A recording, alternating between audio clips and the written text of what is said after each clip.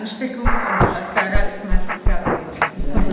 Wie viel ist denn runtergekühlt zurzeit? Nein, ist nicht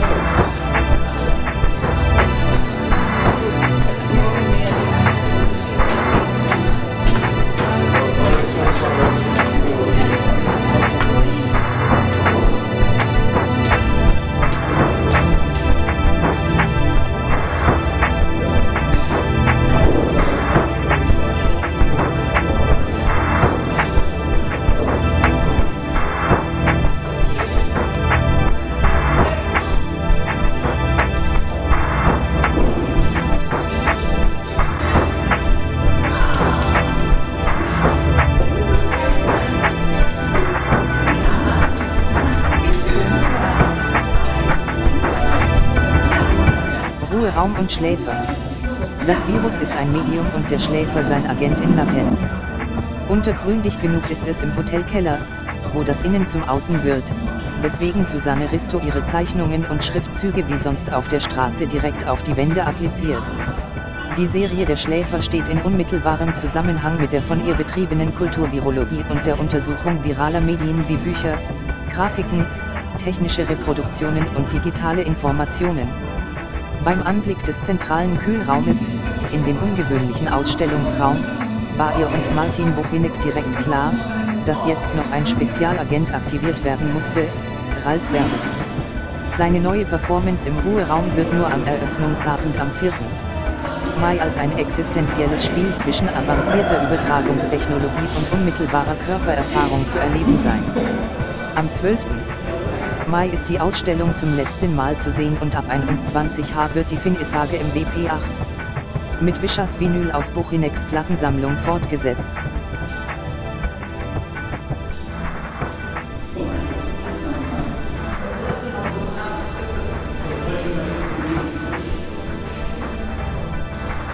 Ralf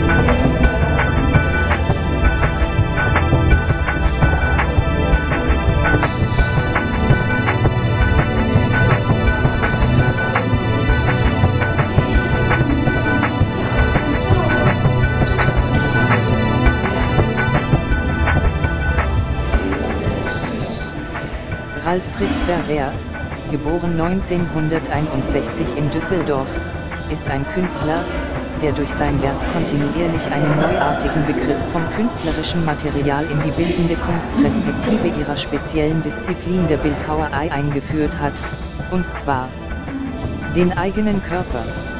Er verknüpft die Bildmedien Fotografie, Video, Objektkunst und das Handlungsmedium Performance zu einem existenziellen bildhauerischen Entwurf, der den Menschen als Maß für den Wert von Kunst postuliert.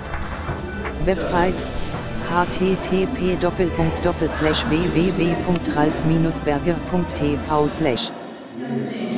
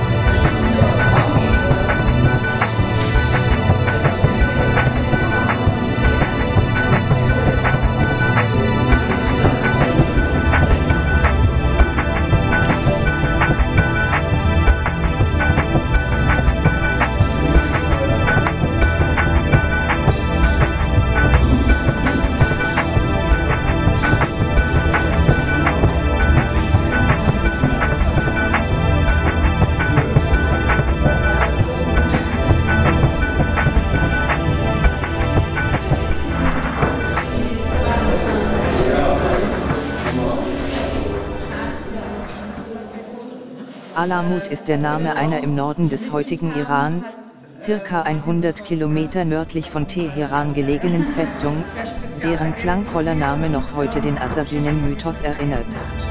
Autoren wie Friedrich Nietzsche, Betty Bout Hall oder William S. Burroughs, waren nachhaltig fasziniert von der Figur des islamistischen Warlords. Der seine unter Haschisch-Einfluss stehenden Haschischinnen, auch Assassinen, im Englischen heißt Assassin, Mörder, jahrelang als Schläfer an feindlichen Höfen unterbrachte. Bis er den latenten Gefährdern den Befehl gab, nachts die Feinde im Schlaf zu vernichten. Hassaniza war, der möglicherweise anders hieß und nicht Perser, sondern Syrer war, wurde zur Zeit der Kreuzzüge um 1100, als der Alte vom Berge bekannt. Und im gegenkulturellen Kontext stets gern, wegen seiner Philosophie, nichts ist wahr, alles ist erlaubt zitiert. Auch im aktuellen Wechselspiel des Virendiskurses mit dem Terrorismusdiskurs, spielt die Figur des Schläfers, als latenter Gefährder, eine zentrale politische Rolle. Und individuelle Körper, werden in einer alarmistisch gestimmten Gesellschaft, als bald zu alarmend gefährlichen, latent anwesenden, unsichtbaren Fremdkörpern, und zur gefürchteten, Biogefährdung.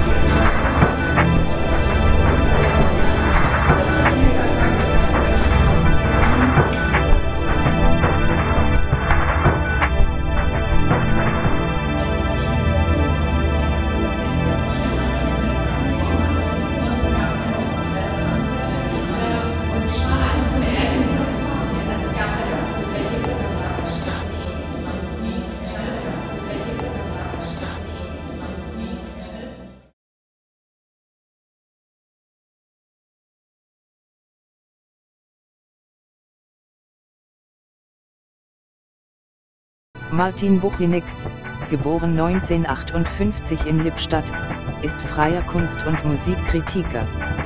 In den 1980ern und 1990ern hat er als Kulturredakteur eines Rugbeat-Magazines gearbeitet und für zahlreiche Kunstzeitschriften und Tageszeitungen geschrieben.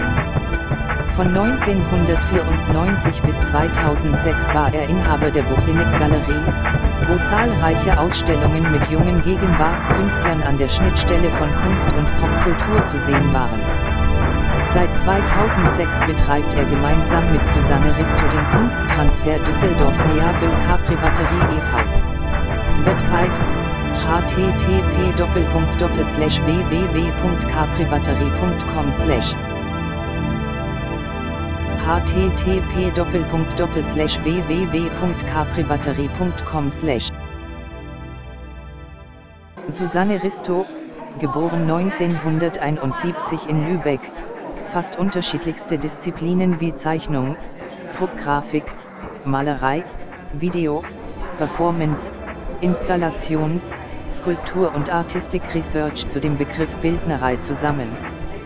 Die Künstlerin ist international nicht nur mit Ausstellungsprojekten präsent, sondern auch als leidenschaftliche Kunstvermittlerin. In großen Zeichenzyklen erprobt sie die infektiösen wie partizipativen Möglichkeiten von Bildern im öffentlichen Raum. Website http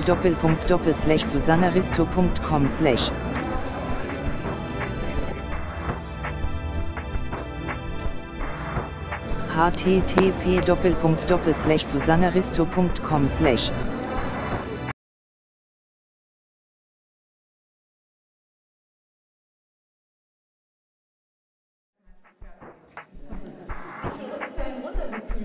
Nein, er ist nicht.